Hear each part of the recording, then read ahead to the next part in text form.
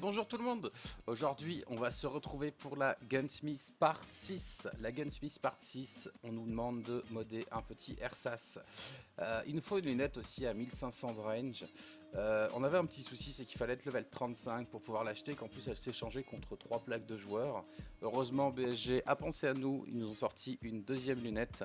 Deuxième lunette bien sympathique, puisqu'on peut l'acheter level 30 chez Mécanique et qu'en plus de ça, in-game, elle est vraiment pas mal.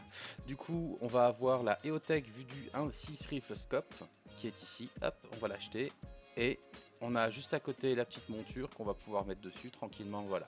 On a déjà la lunette. Ensuite, il va falloir être level 29 chez Peacekeeper, pour une bonne raison, c'est qu'il nous faut une poignée squelette. Alors elle s'appelle pas poignée squelette, mais moi je l'appelle comme ça par principe, puisqu'il y a plein de trous dedans, donc ça me fait penser à un squelette. Donc level 29 Peacekeeper Royal, on peut acheter cette petite poignée. Ensuite, on va aller chez Skieur. Chez Skieur, on va aller acheter une poignée verticale qu'on va pouvoir mettre à l'avant du RSAS.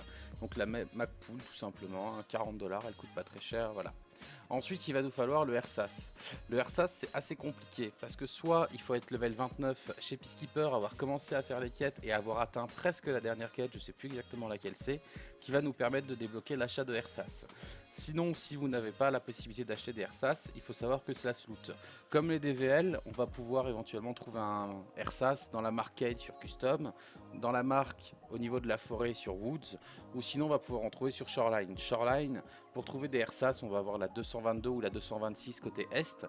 Couché sur le lit, on aura un petit ersatz. Ou sinon, côté ouest, dans la pièce qui en relie 3, 222, 221 et 218, c'est bien ça. On va pouvoir en trouver un euh, dans la salle de bain, couché sur des cartons, un petit ersatz. Donc si vous avez la possibilité de les acheter, achetez chez Peacekeeper, sinon allez le looter. Il nous faut aussi un petit silencieux le problème du silencieux, c'est qu'il va falloir être aussi level royal chez Peacekeeper. Vous allez pouvoir en looter sur Chocho. L'avantage, c'est qu'on n'a pas besoin de quête pour pouvoir acheter silencieux. Donc logiquement, à partir du moment où vous aurez euh, le RSAS, vous pourrez directement euh, acheter le silencieux. On enlève la poignée parce qu'on n'en a pas besoin. On rajoute la poignée squelette. On rajoute la petite lunette qui va nous servir pour la quête la MacPool en poignée verticale. Attention, pensez à bien enlever les, balles du chargeur. C'est vrai qu'effectivement, il y en a beaucoup qui se font avoir, ils ne comprennent pas. En fait, les balles dans le chargeur vont rajouter du poids. Et ils ont mis en place justement une demande spécifique au niveau du poids pour ne pas... Euh, pour rendre un peu la chose un peu plus compliquée, on va dire, c'est peut-être un peu sadique.